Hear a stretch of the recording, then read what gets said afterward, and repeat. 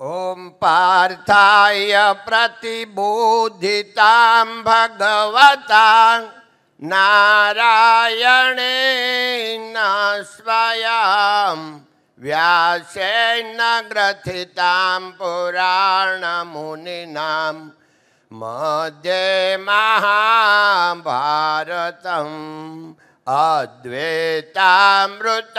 अद्वैतामृतवर्षिणीं भगवती अष्टादशाध्यायिनीं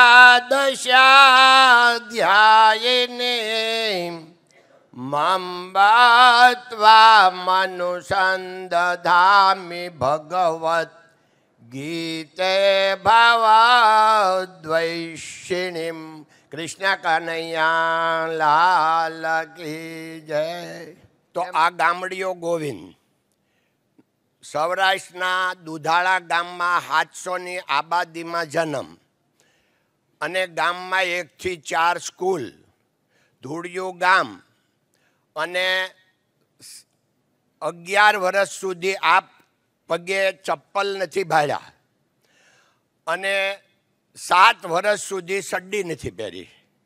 તમને બધાને નવાઈ લાગે કે આ કાકા આવી તો કાંઈ વાત કરે?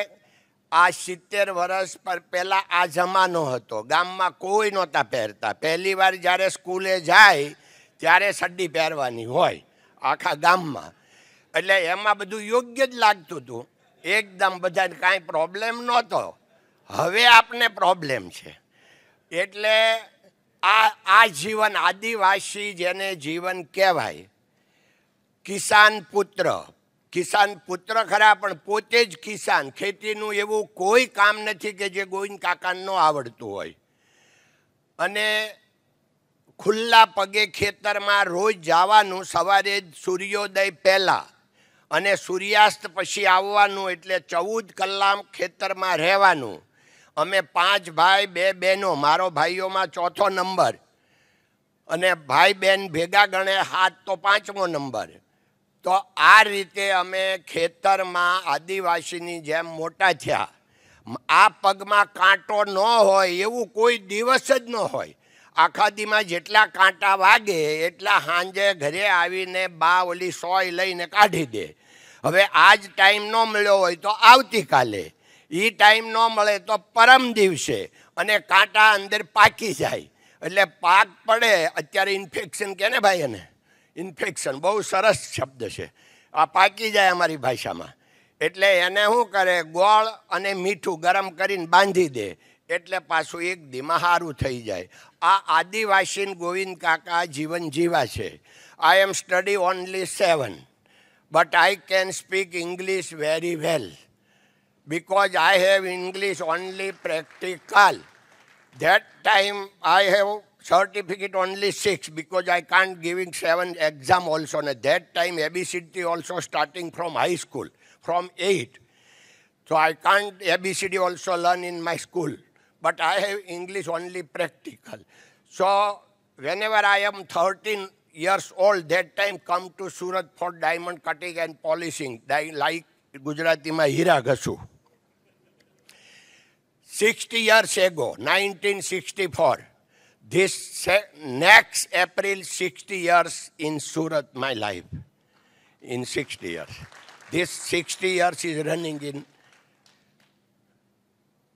હું જ્યારે સુરત આવ્યો બસો કારીગર હીરા ઘસવામાં હતા. એમાં બસોમાં એક હું. આજે દસ લાખ.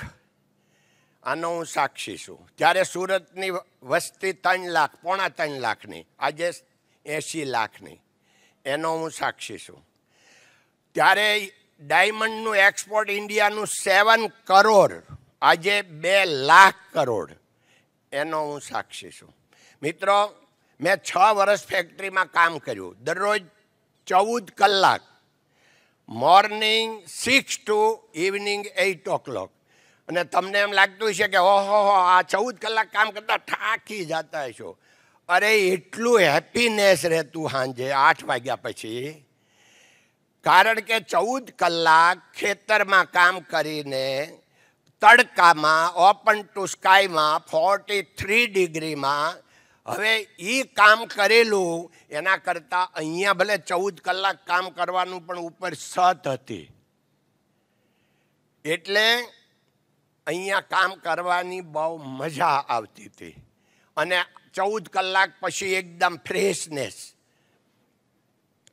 મિત્રો, આ વાત વાર્તા હું એટલે મારી કરું છું કે everything is possible in the this world કારણ કે, પણ કોણ કરે? બુદ્ધિ ઉપર બહુ વિશ્વાસ રાખશો નહીં. બુદ્ધિ કોરી છે. એમાં હૃદયના લાગણી રૂપી ભિનાશ જોઈએ. બીએન દસ્તુર અમારો સેમિનાર કરાવવા આવતા હતા. એમણે મને સમજણ પાડી કે ગોવિંદભાઈ ઓગણીસો ને છપ્પન પહેલાં લાગણીને ફેક્ટરીમાં એન્ટ્રી જ નહોતી. નકરું બુદ્ધિથી જ કામ કરવાનું. ઓગણીસો ને છપ્પન સુધી, મિત્રો.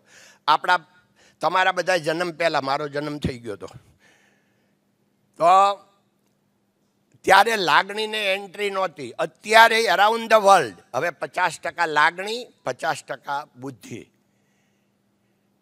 તમે કોઈ વાપ તમારા કામકાજમાં, તમારા સ્ટાફમાં કેટલી લાગણી વાપરો છો એ મને ખબર નથી. હમણાં વાતમાં આવશે તો આપણે કહેશું કે લાગણી છે ને એ જીવન છે. અહીંથી શરૂ થાય છે. પહેલાં તો જો ગોવિંદ કાકા તમને ધંધો કેમ કરવાનો એ નહીં સમજાવે. ગોવિંદ કાકા તમને મેસેજ આપવાના છે કે સૌથી પહેલાં તમે માણા બનો. તો તમે એમ કહો કે અમે માણા નથી? માણસ છો માનવતા, માણસની માનવતા, માણા બધા હોય. માનવતા કેટલામાં? આપણે માનવ બનવાનું છે માનવતા. એટલે માનવતા માટે આપણે આ દાખલો છે, માનવતા માટે આપણે આ અત્યારે વિચાર, વાણી, વર્તનથી સત્સંગ કરવાનો છે. તો તમને લાગશે કે કાકા, આ કેવી રીતે તમે કહો છો કે માનવતા? મિત્રો, આપણા સ્વાર્થ વગરના જેટલા કામ કરીએ ને એ બધા માનવતા. સવારથી તમારે લખી નાખવાના કે સવારે હું આટલા વાગે જાગ્યો તો આપણે સારું જાગ્યા. મેં બ્રેકફાસ્ટ લીધો તો આપણે સારું લીધો. આપ બીજા માટે કેટલું કર્યું? સાંજ સુધીમાં લિસ્ટ બનાવજો. પછી તમને ખબર પડશે કે હવે હું દસ ટકા માણા થયો છું अपने लिए तो सब कोई करते दूसरे के लिए करे वो ही મિત્રો તમે અહીંયા બેઠા બસો જણા તો બસો એ બસોના અલગ અલગ બિઝનેસ છે મને ખબર છે પણ બિઝનેસમાં થિયરી એક જ હોય એક જ જાતની કોઈ પણ બિઝનેસ હોય, એનો મેઇન જે થડિયું હોય, મૂળિયા હોય એક જ હરખા હોય. પ્રમાણિકતા વગરનો વેપાર નકામો. સિદ્ધાંત વગરનું રાજકારણ નકામું. સંસ્કાર વગરનું શિક્ષણ નકામું. ખંત વગરની ખેતી નકામી અને સમજણ વગરનું જીવન નકામું. આ આપણે સમજણ કેળવવાની છે. મિત્રો,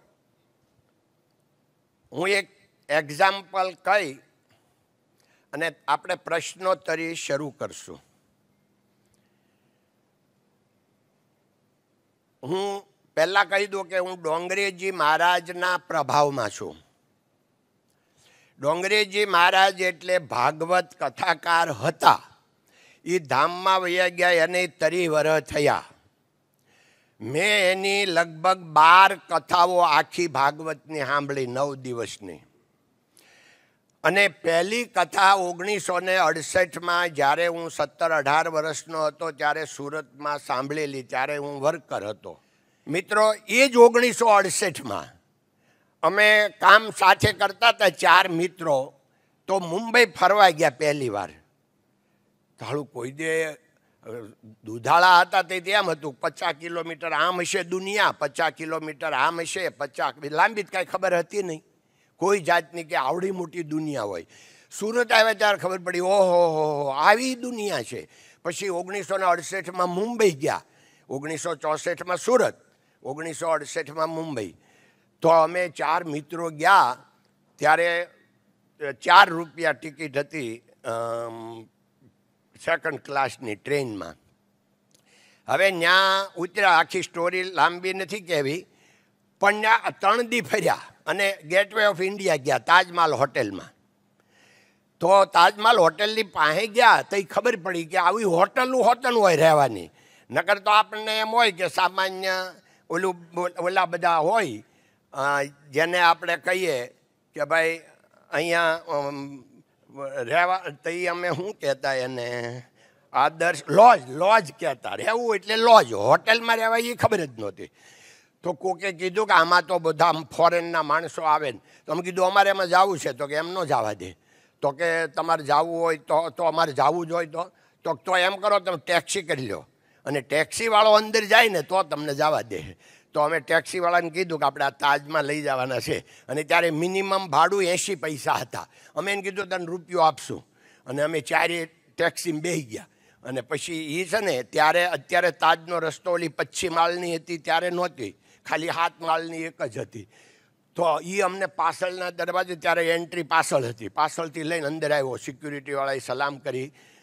દરવાજો ખોલ્યો. પછી ક્યાં જવું ખબર નહીં. આમના હાલ્યા જતા હતા ને તે પાછળનો દરવાજો દરિયા બાજુનો આવી ગયો. તે ત્યાં બીજો સિક્યુરિટીવાળો હતો ને કે, ચલો ચલો, બહોત હો ગયા. કારણ કે ચંપલ પહેર્યા હતા. અને છોકરા સત્તર અઢાર વર્ષના વર્કર હોય, કેવા હોય એ તો આપણે સમજી શકીએ. એટલે હાળું, હવે શું કરવું એમાં અમારા ભાઈક સીધા. તો ત્યાં તાજ હોટલમાં એક રિપેરિંગનું કામ ચાલતું હતું. તો રિપેરિંગનું કામ ચાલતું હતું ને એમાં એક સિવિલ કોન્ટ્રાક્ટર હતો. એ કઈ છોકરાઓ, ક્યાં જવું છે? એ સૌરાષ્ટ્રનું.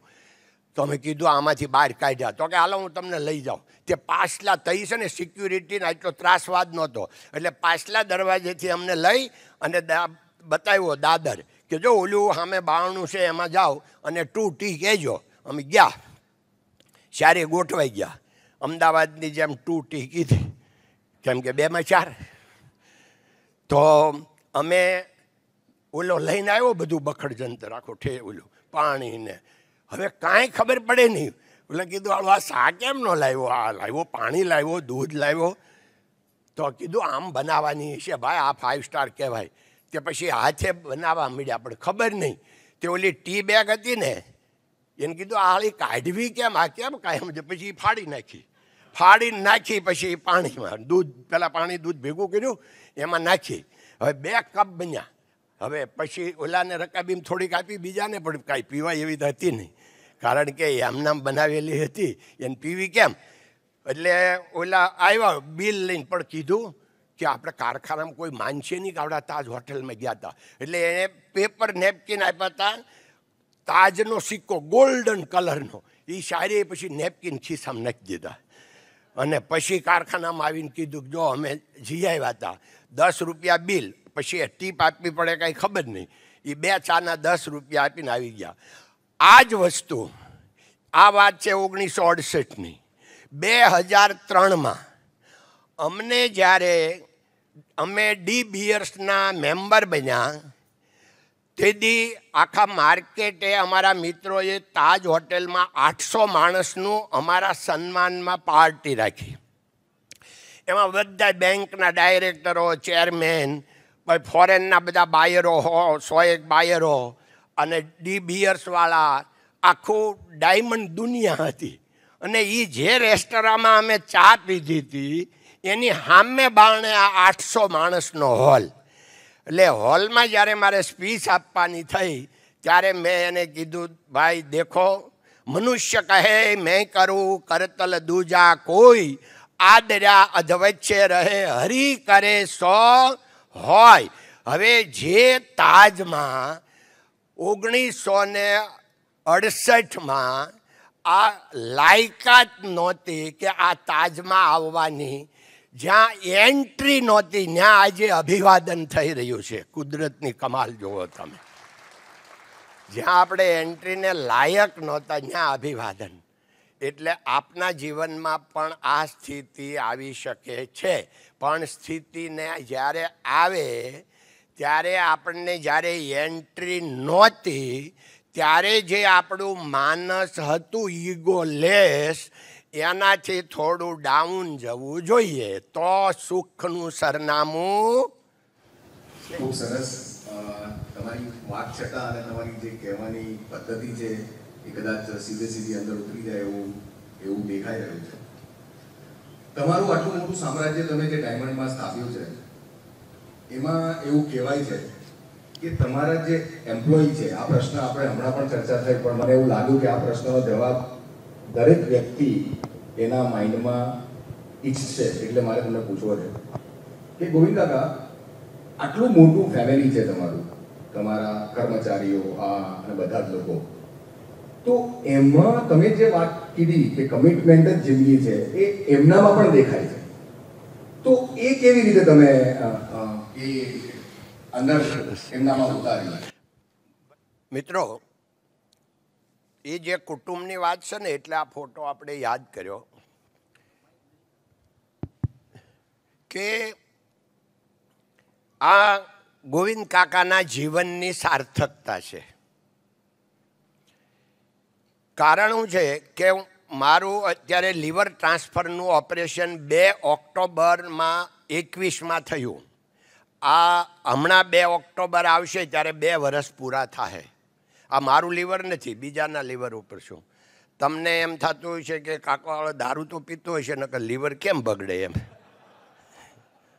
મગર મસ્તી તો મુજ મેં શરાબ મેં નહીં, અગર શરાબ મેં હોતી તો બોટલું ક્યું ન ઉછળતી?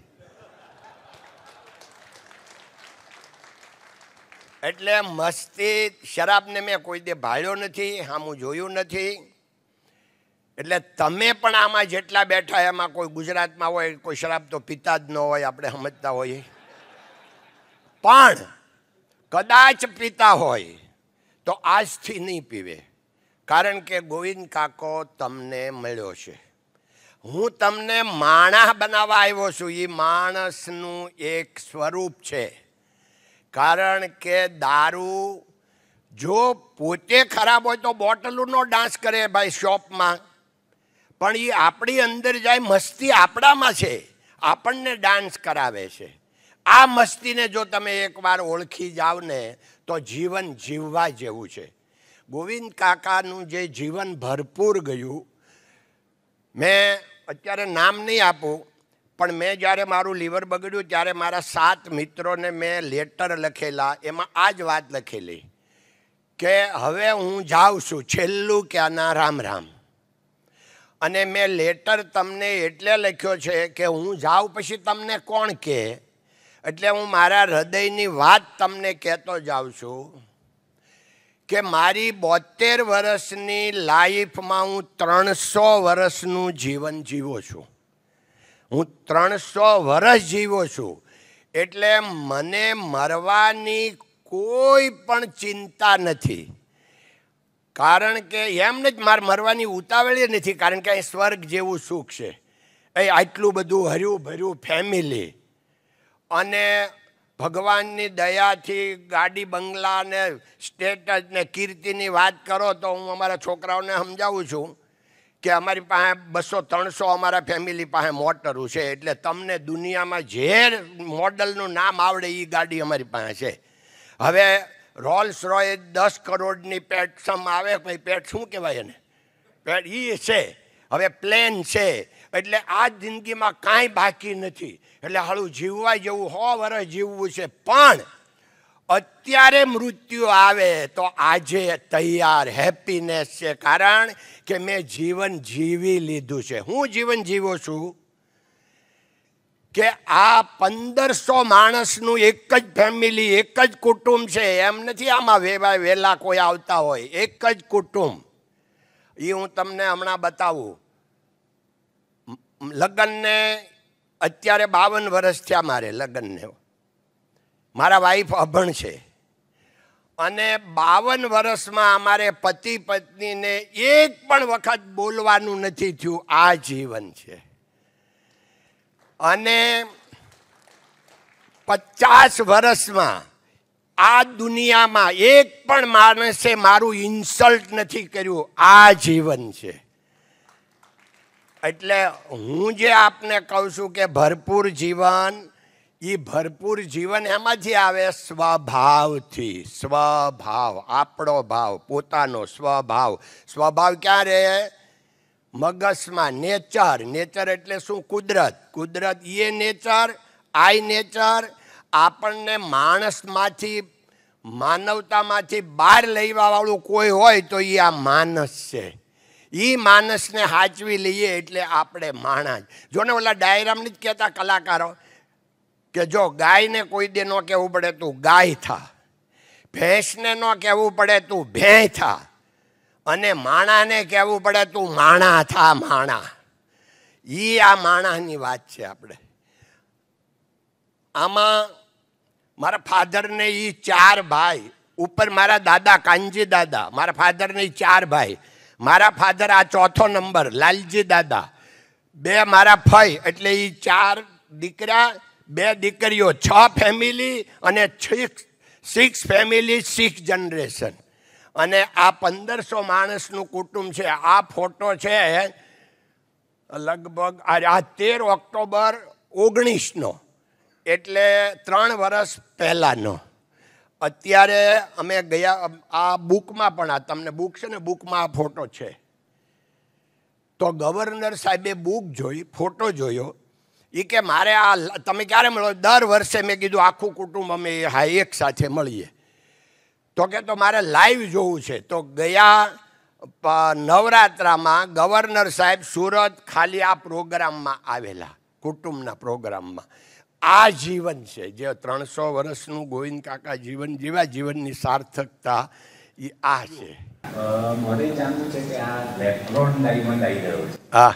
તો એનું શું ભવિષ્ય વર્સિસ ધી ઓરિજિનલ લાઈફ ભાઈ જુઓ જ્યારે સીઝેડ આવ્યું, cu- cubic zirconia American diamond. તો બધાને એમ હતું કે આ આ આવ્યો. હવે તો આ હીરાનું શું થાય? પણ એ, એની રીતે એ ચાલે છે, ક્યુબિક જર્કોનિયા બને ચાઇનામાં.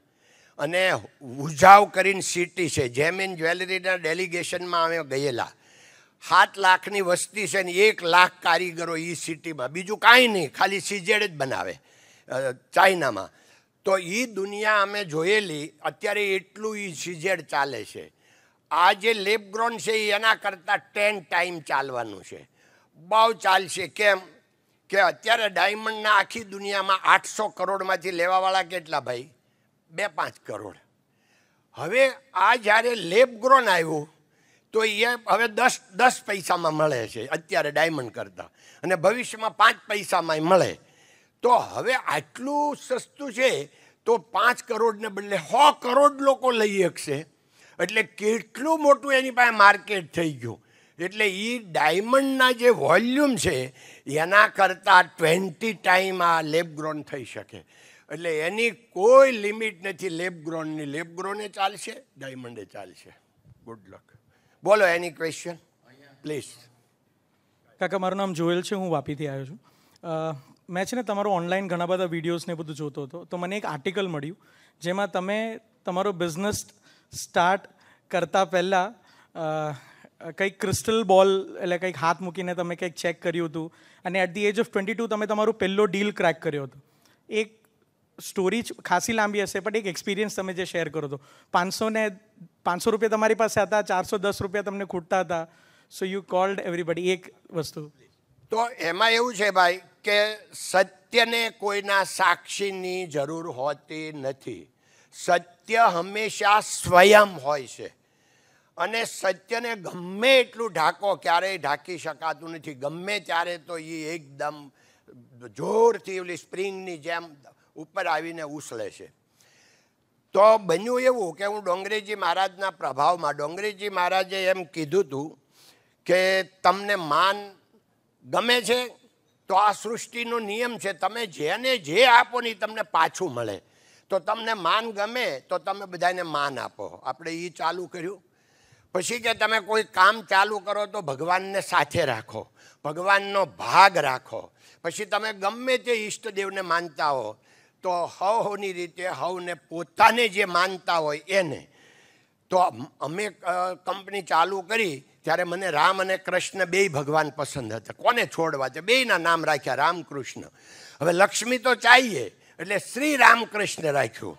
એટલે લક્ષ્મી આવી ગઈ, ભગવાન આવી ગયા, બધું આવી ગયું. એટલે ડોંગરેજી મહારાજ એમ કહેતા કે સંપત્તિ અને સંતતિ એ પ્રારબ્ધ અનુસાર મળે છે એને માટે પ્રયત્ન કરવાની જરૂર છે, પણ પાપ કરવાની જરૂર નથી. એટલે અમે ક્યારે આ એક સેન્ટેન્સ ઉપર, વિશ્વાસ ઉપર, અમારા ડાયમંડ માર્કેટમાં ઓપન ચેલેન્જ છે કે અમારી કંપનીમાં અમે, કે અમારા પાર્ટનરો, અમારા ફેમિલી મેમ્બરો પૈસા માટે, બિઝનેસ માટે, એક પણ વખત જો ખોટું બોલ્યા હોય, તો અમે ધંધો છોડી દઈએ. આ જ અમારી ઓપન છે. તમારી પાસે ચેલેન્જ કરું શું કામનું? તમને શું ખબર? ડાયમંડ માર્કેટમાં ખબર હોય, સાઠ વર્ષ, કે આ ભાઈ શું કરે છે? એટલે ડાયમંડ માર્કેટમાં અમારી ઓપન ચેલેન્જ છે. તો એનો એક દાખલો છે, આ એક્ઝામ્પલ છે. કે જ્યારે અમે ઓગણીસો ને સિત્તેરમાં ફેક્ટરી ચાલુ કરી, તો ત્યારે છે ને પહેલો મજૂરીથી માલ લાવ્યા. અને એ જે ડાયમંડ, એની ચાર રૂપિયા મજૂરી આપે. એણે વજન માગ્યું હતું કે અમે એક કેરેટ આપી, તમારે અઠ્ઠાવીસ સેન્ટ મિનિમમ પાછું આપો, બીજું ઘસાઈ જાય એમ. અમારે ચોત્રીસ ટકા વજન આવ્યું. કારણ કે અમે ત્રણ પાર્ટનર હતા ને બે એના કારીગર હતા, પાંચ જણા. એટલે કંઈક જરા પણ નુકસાન આવ્યું નહીં ને ચોત્રીસ ટકા વજન આવ્યું. અઠ્યાવીસ ટકા ને ચોત્રીસ ટકા, વીસ ટકા પ્રોફિટ વધી જાય. તો જેણે મને અપાવ્યો હતો, માલ એ કહે કે તારે આ મોટા હીરા તું લઈ લે અને નાના નાખી દે અને છવ્વીસ સત્યાવીસ ટકા કરીને આપી દે. મેં એને કીધું, હું બદલો નહીં કરું, હું ચેન્જ નહીં કરું. કારણ કે મારો સિદ્ધાંત છે કે હું ખોટું નહીં કરું. તો એણે કીધું, તો અમારું બધાને બગડશે. અમારે તો અઠ્યાવીસ જ આવે, કારણ કે હોલસેલમાં બનાવવાનું હોય. તો મેં કીધું, તમારું ન બગડવું જોઈએ.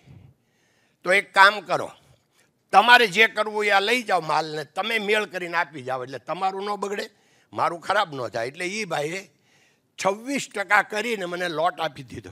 હું આપવા ગયો, એટલે એણે મને ચાર રૂપિયા મજૂરી આપી દીધી. અને બીજો માલ આપ્યો. એટલે ત્યાં હું પાસ થઈ ગયો.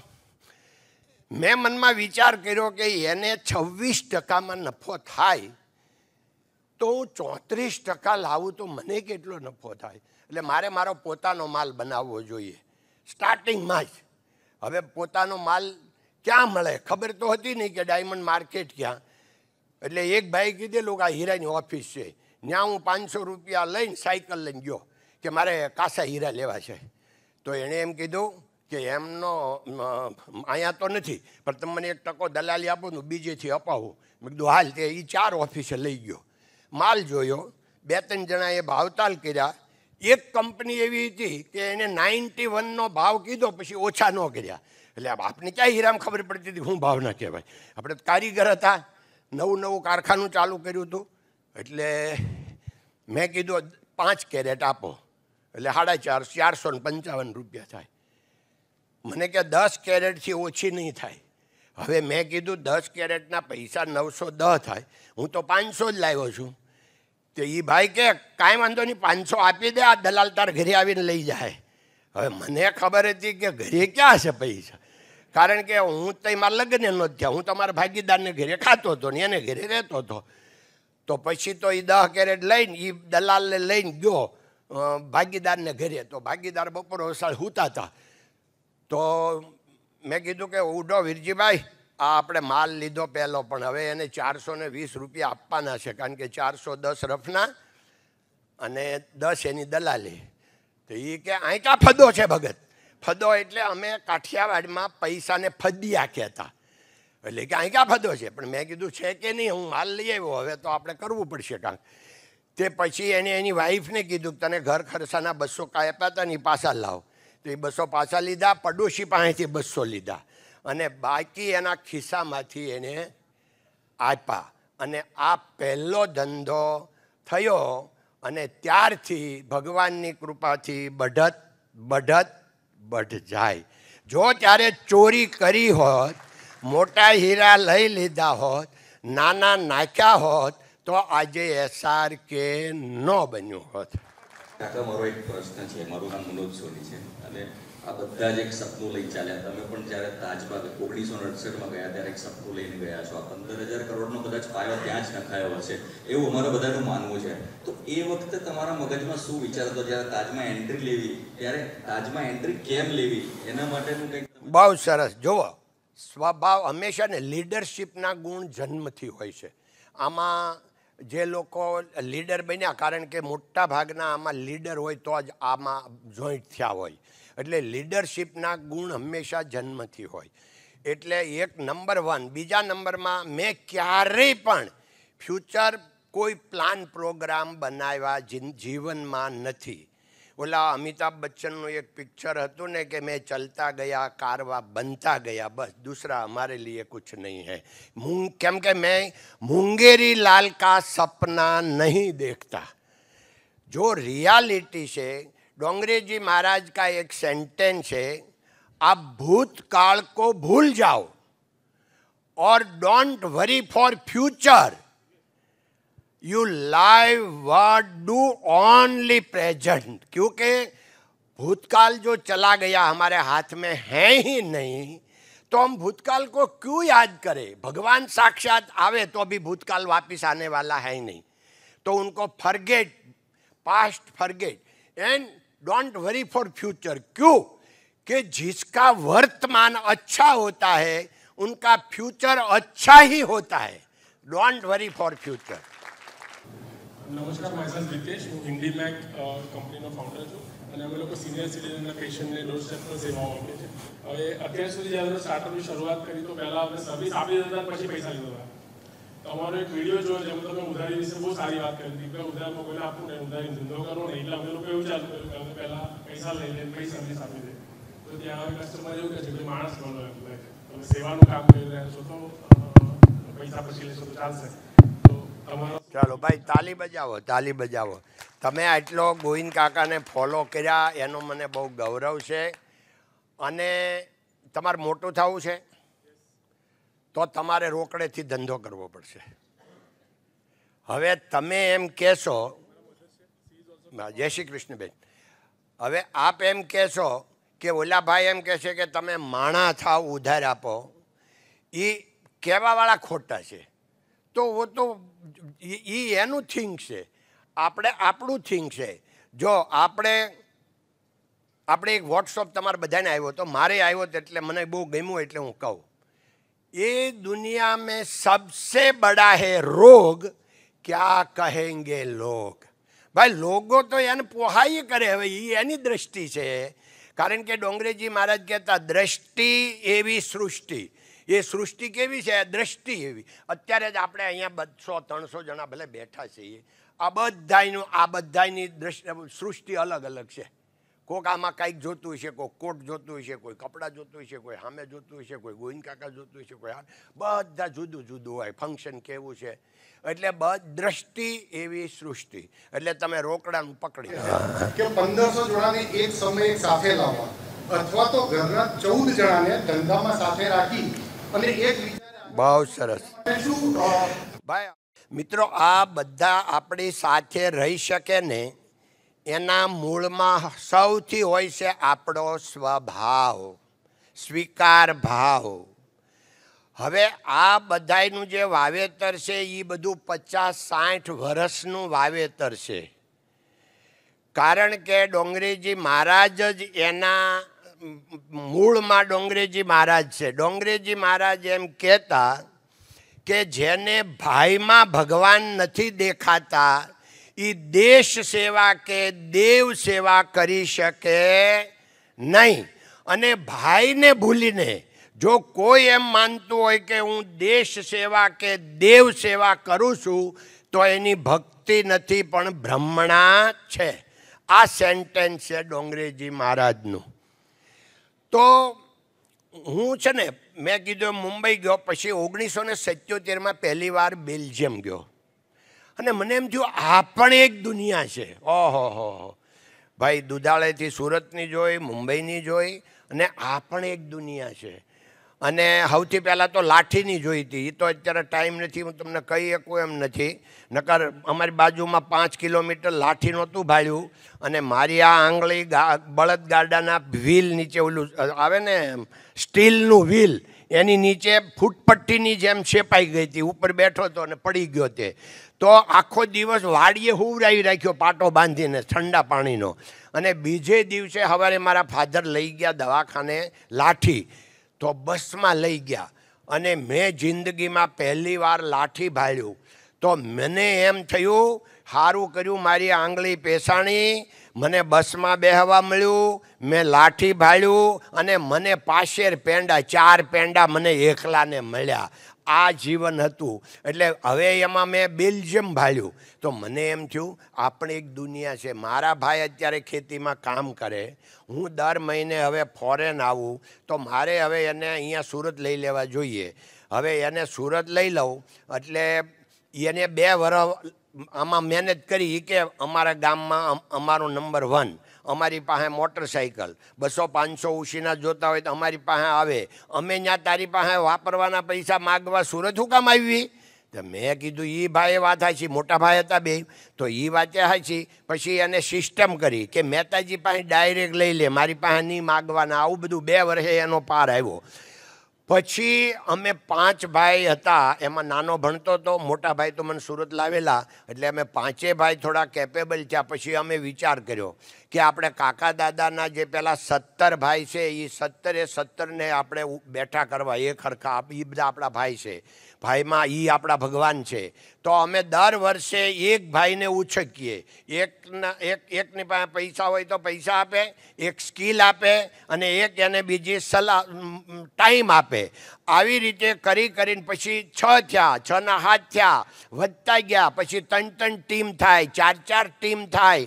અને તમને જાણીને આનંદ થશે કે સત્તર ભાઈ અને તેર બહેનો સેવન થર્ટી ભાઈ બહેન અમે ત્રીસ ભાઈ બહેન બે હજારની સાલમાં ત્રીસે ત્રીસને પોતાના બિઝનેસ, પોતાનું ઘર અને પોતાની કાર, આ ત્રીસે ત્રીસ ફેમિલીને સમકક્ષ બનાવી દીધા. સમકક્ષ બનાવ્યા એટલે મેં એકલાએ નહીં, સ્ટાર્ટિંગ મેં કર્યું, પછી બધા એમાં સપોર્ટ આપતા જ ગયા, આપતા જ ગયા. મિત્રો ધર્મ બઢે, ધન બઢે ધન બઢે તો મન બઢે મન બઢે તો માન બઢે, બઢત બઢત, બઢ જાય. એટલે પાયામાં ધર્મ છે. ધર્મ વધે તો ધન વધે અને ધન વધે તો મન વધે. ધર્મ એટલે હિન્દુ ધર્મ નહીં સમજવાનો કે મુસ્લિમ ધર્મ નહીં સમજવાનો. ક્રિશ્ચનને ધર્મ એટલે માનવતા. તું માણા થા. ઈ ધર્મ. માનવતા ધર્મ. એટલે ધર્મ વધે તો ધન વધે. એટલે આ જે આખું ફેમિલી ટુ થાઉઝન્ડમાં કારણ કે બધાને આપણે આગળ લાવ્યા, આજે પણ, આજે બે હજારને આજે તેવી વર્ષ એની ઉપર વહી ગયા.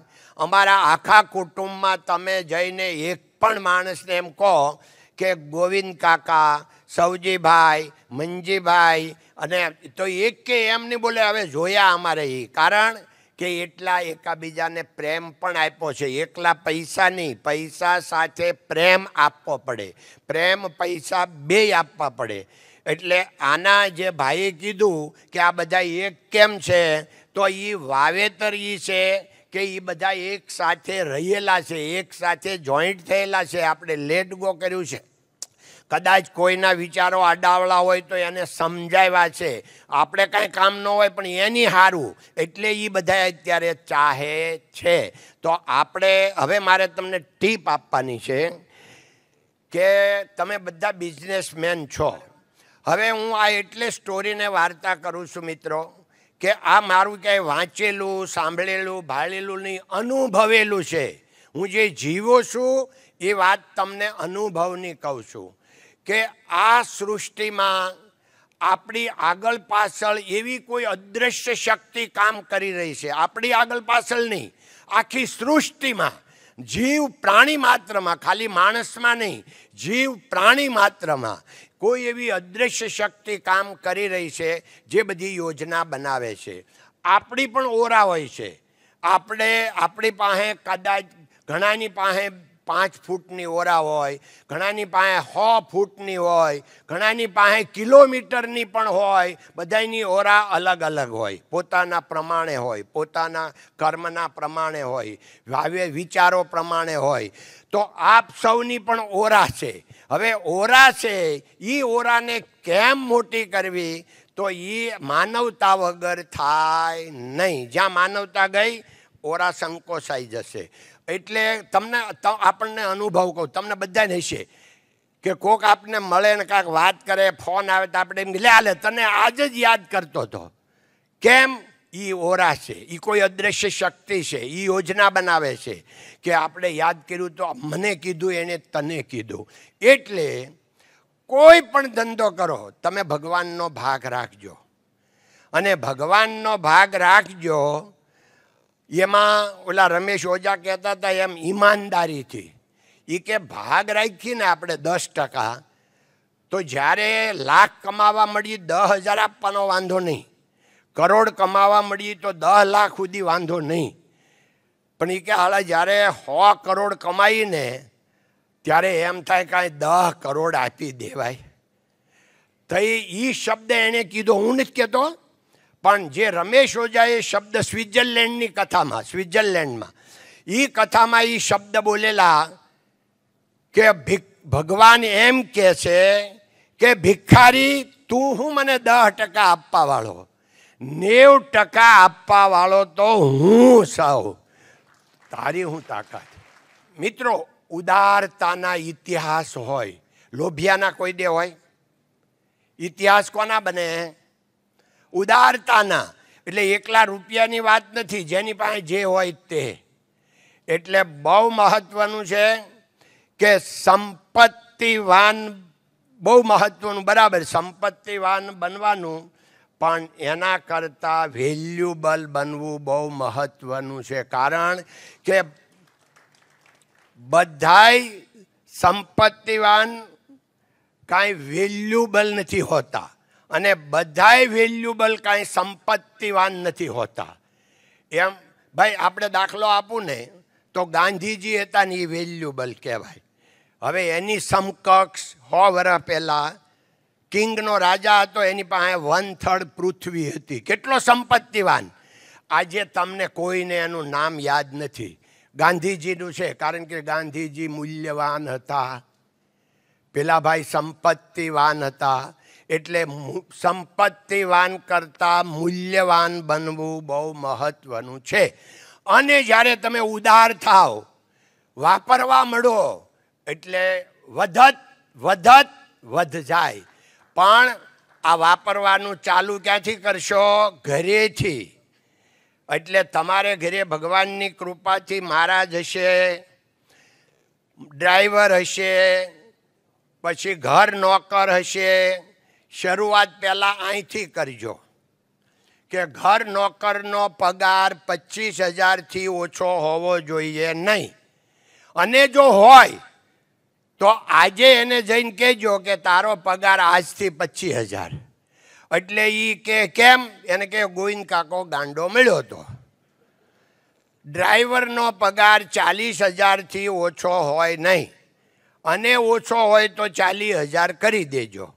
મહારાજનો પગાર પચાસ હજારથી ઓછો હોય નહીં.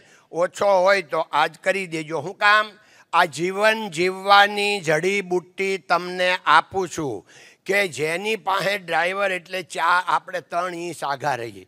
અને ઘર નોકર એટલે આપણા બેડરૂમમાં જાય, આપણને પાણી આપે, આપણને ટચ કરે, આપણા કિચનમાં જાય અને આને જો આપણે સંતોષકારક ન આપીએ તો ઝાંપે ઝાલકો મારવાની ને બહાર ડોનેશન કરવાની કોઈ જરૂર નથી. અહીંયા વધે પછી ડોનેશન કરવાના છે. આજે એમ સમજો કે આ ગોવિંદ કાકો નથી બોલતો. ગોવિંદ કાકાની અંદર ઈશ્વર કોઈ અદૃશ્ય શક્તિ તમારા માટે. તમને જીવન જીવવાની જડીબુટ્ટી આપવી છે. તમારું જીવન ભરપૂર બનાવવું છે એટલે અંદરથી પરમાત્મા બોલાવી રહ્યા છે તમારા માટે.